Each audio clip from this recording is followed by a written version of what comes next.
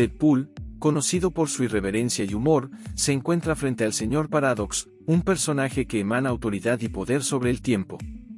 El señor Paradox, con un gesto solemne, le explica a Deadpool que él tiene el poder de rescatar la sagrada línea del tiempo, una responsabilidad que no debe tomarse a la ligera.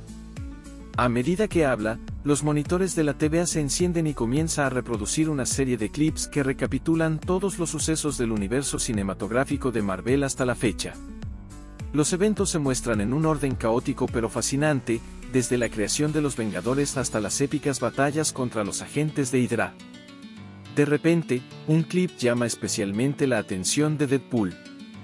En él, se ve a Thor, interpretado por Chris Hemsworth, sosteniendo en sus brazos el cuerpo sin vida de Deadpool, con lágrimas corriendo por su rostro. La escena es conmovedora y muestra un lado vulnerable del dios del trueno, algo poco común en su caracterización usualmente estoica y poderosa. Deadpool, con su característico humor, no puede evitar hacer un comentario sarcástico sobre la situación.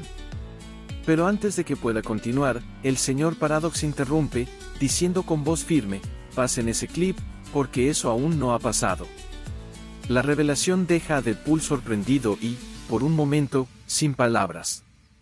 La gravedad de la situación se hace evidente, el futuro de la línea del tiempo está en juego, y la visión de su propia muerte en los brazos de Thor es un recordatorio del riesgo y la incertidumbre que conlleva. El último tráiler de Deadpool y Wolverine habrían revelado dónde se dará y de qué manera la batalla final de la película, en el reciente avance vemos a Way y Logan están por saltar el portal de Doctor Strange, generado en el vacío y atrás del portal está la Jot quien está por atacar. El motivo por el cual el portal se ve blanco y al parecer no habría nada detrás es porque están cruzando a un cielo. En la siguiente toma se ve que Wei y Logan caen de las alturas sobre uno de los autos de la tienda donde Wei trabaja al inicio de la película con Peter quien está ahí mostrándole los carros a una familia.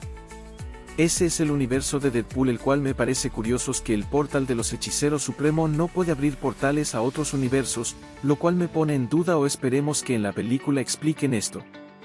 Luego esto vemos a Wei y Logan llegar al departamento de anciana ciega, Wolverine tiene el traje dañado con las mangas rotas esto coincide con la llegada de los héroes a la calle donde hay personas lo cual significa que la batalla final contra Cassandra Nova se dará en el universo de Deadpool, fuera del vacío.